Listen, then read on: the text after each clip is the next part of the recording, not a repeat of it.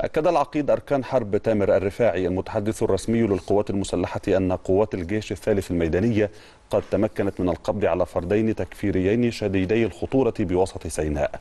أضاف المتحدث العسكري في بيان له أنه تم ضبط عدد عربتين بهما كمية كبيرة من المواد المخدرة.